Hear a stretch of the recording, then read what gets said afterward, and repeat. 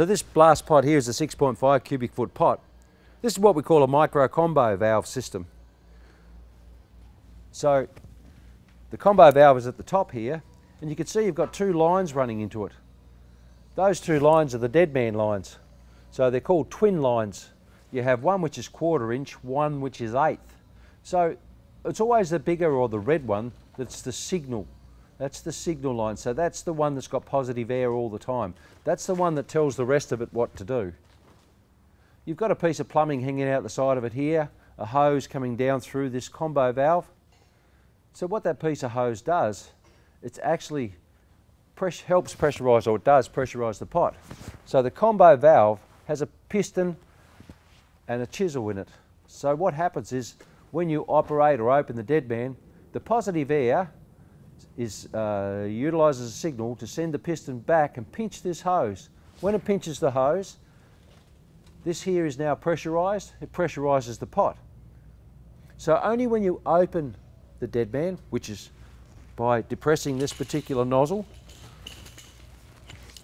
this particular handle, when you push the safety pin in and push that handle, that means that this receives a signal. So the positive air comes down through the red line to this red line here, comes back the green line, and the green line now pushes that piston across and the wedge pinches the hose, closes the hose off, pressurizes the pot, and the grit will start falling through with the main air line, which is the pusher line down through to the micro valve, and the grit and the air will now travel through and come out the end. So when I release that dead man, that means that the signal no longer is returning and the wedge comes back off the blast, uh, the, the pressure hose or pinch hose, and the ex pot exhausts out through the bottom of the hose.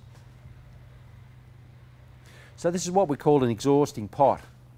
So it's not a pressurised pot, only when I pull the dead man open does it pressurise the pot and enable blasting to occur.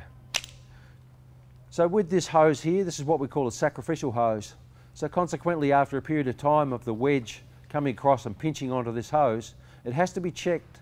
Now that hose, it's mandatory that that hose is checked for integrity each week. So after 40 hours of blasting, check that hose. The integral wall of the hose should be checked to ensure that the wedge has not undermined the integrity of the hose and it's starting to leak air because if you leak air there, that means that you're not pressurising the pot appropriately. So there's the, the hose that enables the pot to pressurise. This is the combo valve that enables all that to happen, to pressurise the pot. So this is positive air here. So look at this. You've got a two inch Minsup coupling, a ball valve, and then you've got what we call a, a small moisture se separator, and then you've got the positive air that comes down to another valve, which what is called or known as a choke valve. I'll, I'll describe to you later on what that does. But the air comes down through the pusher line, so that valve needs to be open to appropriate blasting. On the bottom of this moisture separator bowl, it has a sign here or a notation, drain tank daily. Well, basically what I'm telling you is that that's a little quarter inch tap and you will have that tap slightly cracked all day. So what I don't want you to do is leave it off and there's no moisture escaping during the course of the day because whilst it comes into this particular bowl, it still has to uh, dispense with any ex excessive moisture. So basically what you'll do is you'll crack that valve on the bottom, the little quarter inch tap, you'll have that cracked open during operation and it's just weeping off a small amount of air, a small amount of air, and that'll enable it to dispense with any excessive moisture that may occur during the operation of the pot. So as we look here, we've got another valve on the top here. This is called a pressure relief valve. So the whole idea of this valve here is to make sure that this pot coincides with safety regulations. So say for example I put a 600 CFM compressor on, the, compressor on this particular blast pot, no problems with that at all, but if the pressure rating on the compressor doesn't comply with the pressure rating for this particular valve, this valve will release because that means there's excessive air pressure over and above what the identification table says here in relation to pressure rating for this particular pot. So there's your identification manufacturer's label or certified label that gives you an indication of what its maximum pressure is, what its operating pressure is, and this pressure relief valve is relative to that information. So the two must coincide.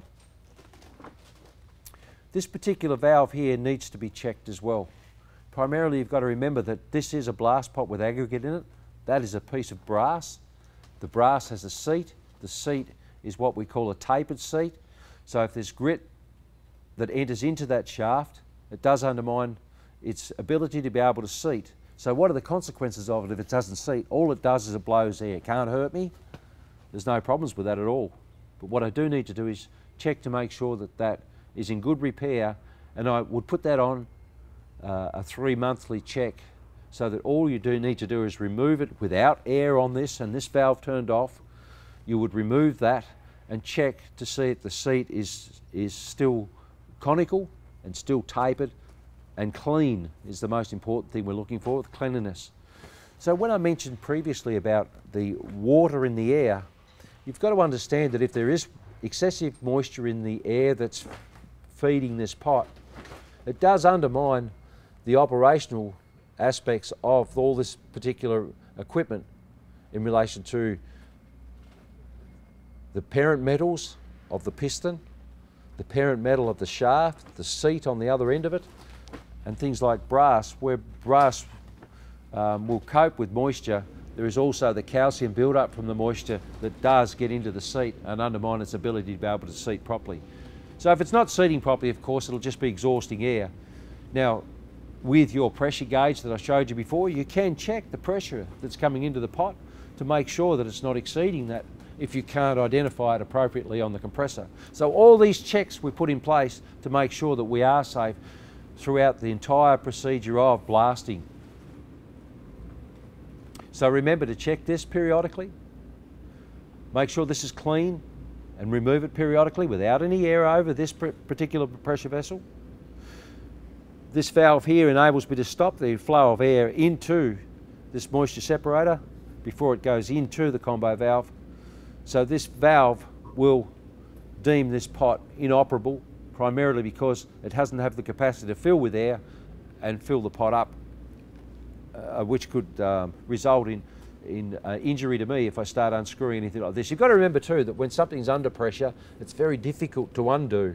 So if it's under pressure, you think to yourself, well, hang on, that shouldn't be as tight as that. Well, have I done the checks before I go any further? Is there air on? No, the valve's off. Is this drain open? Oh, there's no air leaking out of it. Okay, I'm safe. It also is important to isolate the source of the air, which is the compressor. Isolate it. Let people know that I am actually doing something to the pot. There's nothing wrong also with leaving the whip check on the bull hose and just disconnecting the bull hose just to make sure that I'm safe. This can't be filled with air. So when the air comes into this pot, what it does at the top of the pot, there's a round piston we call a pop-up valve. What happens is the air comes in through this piping here, through a standpipe and into the pot. The air escapes out the top of that pipe to pressurise this pot. So the grit inside the pot is not pressurised down the bottom. The conical section of the pot falls of its own volition, so gravity allow, allows the grit to fall. What does happen in the top of the pot here, the air evenly suppresses the grit and pushes it down so the air itself is fed from the standpipe that comes from this particular plumbing that goes into the pot. So the pop-up valve on this particular micro combo valve, the pop-up valve only comes up when you open the dead man. So when I depress this trigger here, so push the safety pin in, depress this trigger, the air travels in here, up through the standpipe, pushes the pop-up valve up, pressurizes the pot, and the pot is held with pressure until I release the dead man. Then it exhausts out this side again. So that valve comes back and the air is enabled to pass out through this hose. The one thing to remember if you have a pot tender, somebody that looks after the blast pot while we're blasting, particularly with young guys that are unfamiliar with this equipment, spend the time to go through the operational procedure with this particular equipment because what can happen is when the young guys are filling the pot, they tend to push the grit down in the concave of the pot lid itself. Now if you haven't got a screen on this or a lid, they tend to push the grit in and they'll put their fingers in where the pop-up valve is. Now if you do that, if you put your finger in there and someone does happen to depress the pin and open the dead man, this will pressurize the pot. That pop-up valve comes up and that kid's got his fingers stuck in there, it'll chop them off. So the important thing to remember is, how do I eliminate that from happening?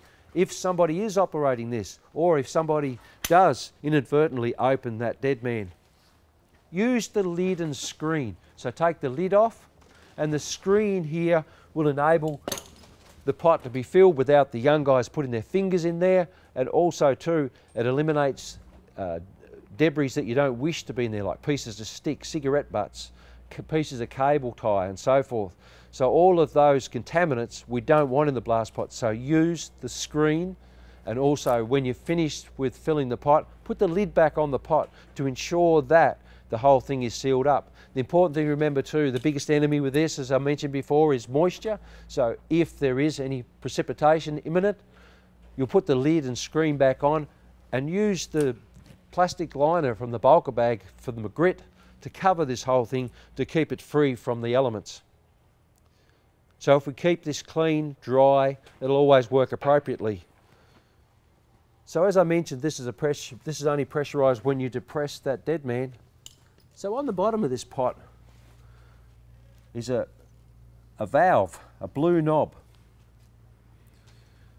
So that particular knob governs the amount of abrasive that comes through here. So as I mentioned, this is a micro combo valve. So the valve on the bottom here enables the grit, how much grit comes through to this end of the blast hose. So how do I know how much grit I need?